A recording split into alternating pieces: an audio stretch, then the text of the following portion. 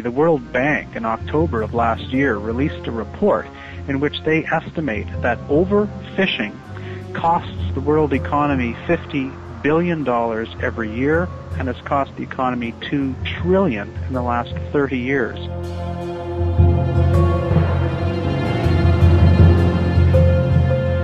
Hello, life protecting viewers, and welcome to Planet Earth, our loving home.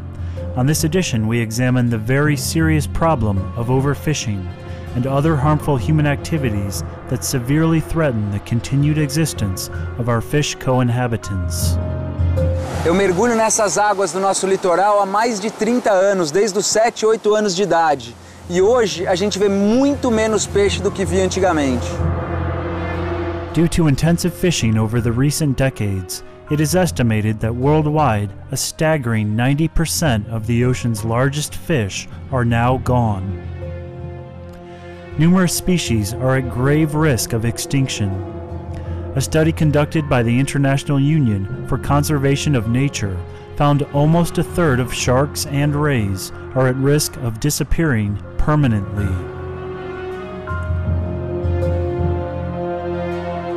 Today, Dr. Guillermo Moreno, head of the World Wildlife Fund's or WWF's Hong Kong Marine Program, Dr. Yvonne Sadovy, a marine scientist and professor at the University of Hong Kong, and Dr. Jeff Hutchings, a biology professor from Dalhousie University, Canada, among others, share their expert knowledge and observations about the survival of fish in our seas.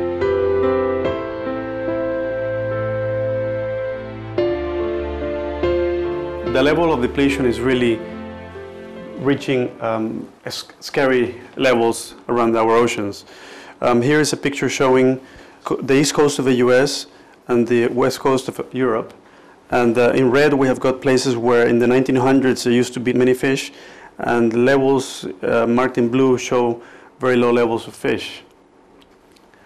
In a matter of 99 years, we have managed to deplete fish stocks in these areas in the um, 1980s, we found that we were catching more fish than the fisheries could produce. And that's a state of overfishing. And yet we continued to develop our fisheries to catch more fish. The United Nations Food and Agriculture Organization estimated in 2002 there were 4 million fishing vessels worldwide with many fleets employing highly environmentally destructive methods, such as trawling or dragging large nets behind boats, and possessing high tech equipment to quickly and easily locate schools of fish. Fish have been disappearing at an alarming pace. In Canada, we have depleted Atlantic cod off Newfoundland, off the northeast coast of Canada, by 99 percent what does that mean in terms of numbers of individuals? Well, it means we've depleted more than 2 billion spawning individuals. And another way to compare that is to take 2 billion and multiply it by the average weight of cod, and 2 billion cod is equal to about 27 million humans. The second species is called the American plaice. This is a flatfish. It's like a sole or a flounder or a halibut and off the northeast coast of Canada, this once widely distributed fish has declined 96%. It is currently happening all over the world, in Antarctic waters, in the Indian, Atlantic, Pacific, Arctic, in every ocean in the world right now. So what this means is that eventually we're going to end up with no fish in the oceans at this rate.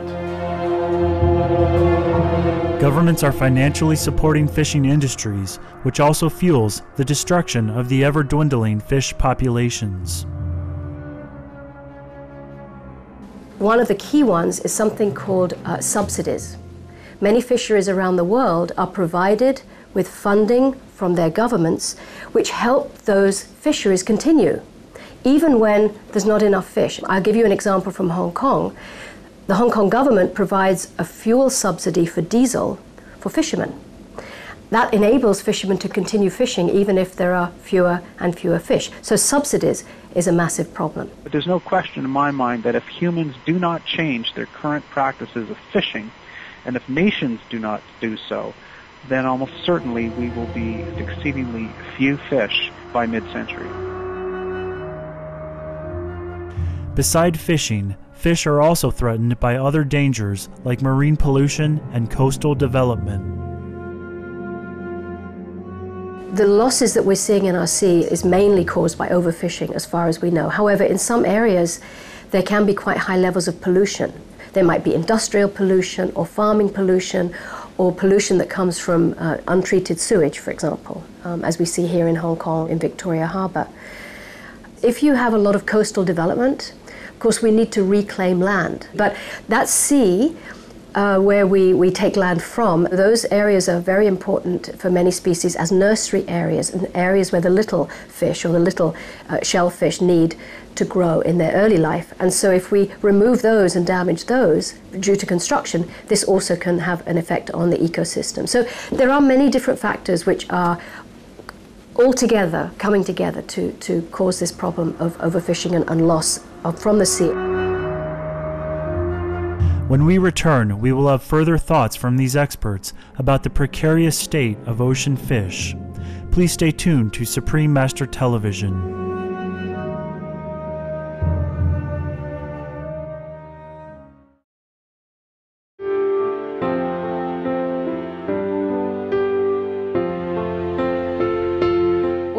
Stop it somehow.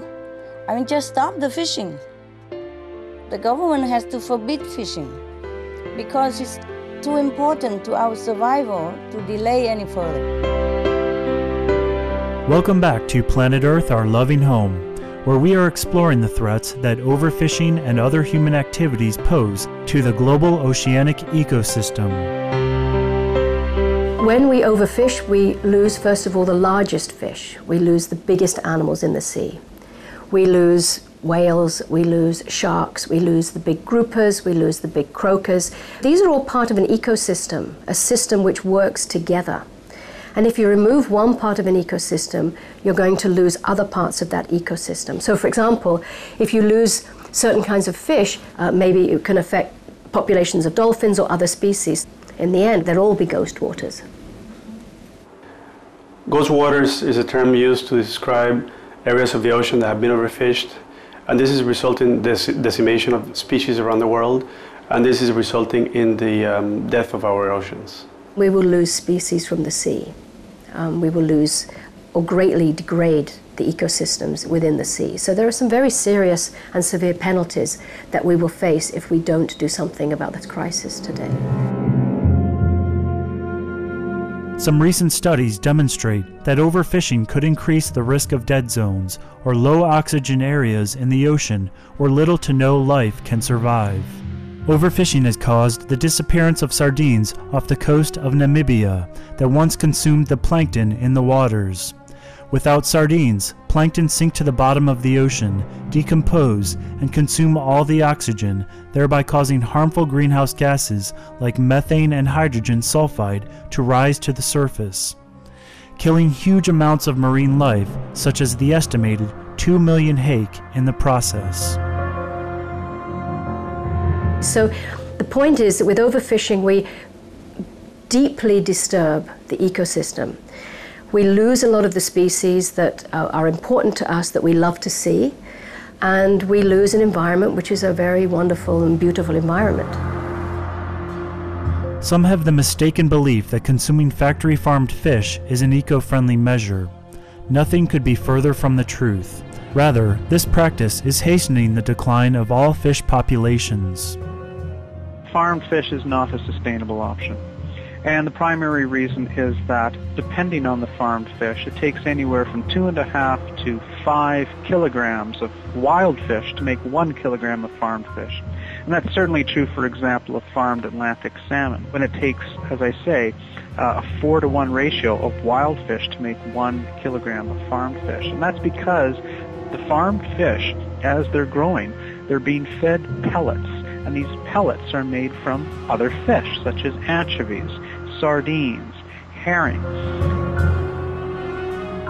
In a recently published paper in World Watch magazine entitled Livestock and Climate Change, scientists concluded that 51% plus of all human caused global greenhouse gas emissions are from the livestock industry, which includes fish factory farming. In what ways is climate change affecting marine ecosystems? Global warming and climate change.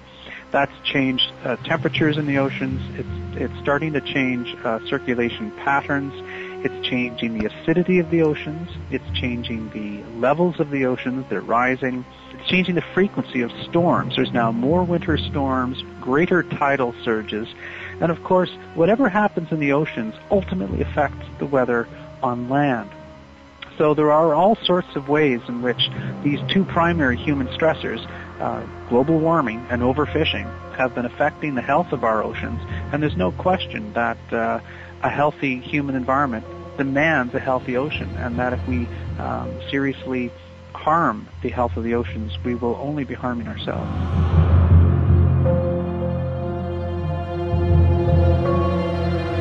During a November 30th, 2008 telephone interview with East Coast FM in Ireland, Supreme Master Ching Hai pointed out that the simplest and most effective way for an individual to save our oceans and fish friends is to adopt a plant based diet.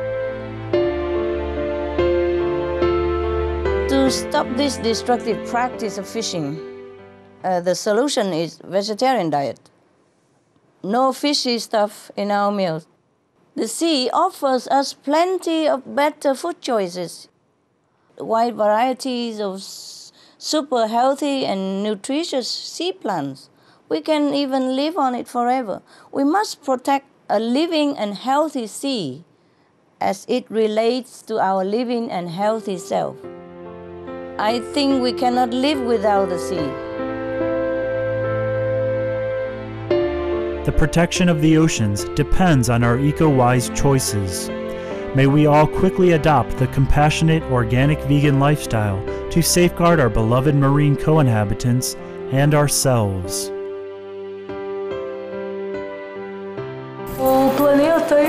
Ele está se transformando e nós somos uh, componentes, atores ativos nessa transformação. Todas as pessoas, independente de onde vivem, cidades grandes, capitais, elas têm imensa responsabilidade, todos nós. We wish to thank Drs. Jeff Hutchings, Guillermo Moreno, and Yvonne Sadovy, as well as the many other individuals around the globe seeking to preserve our oceanic ecosystems. Let all marine life be treasured and respected always. For more information, please visit the following websites Dr. Hutchings, myweb.dal.ca forward slash jhutch. Dr. Moreno and WWF Hong Kong, www.wwf.org.hk.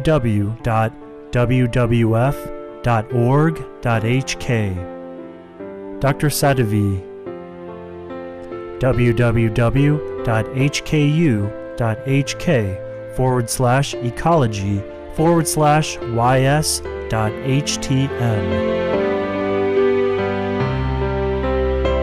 Considerate viewers, thank you for your kind company on today's edition of Planet Earth Our Loving Home.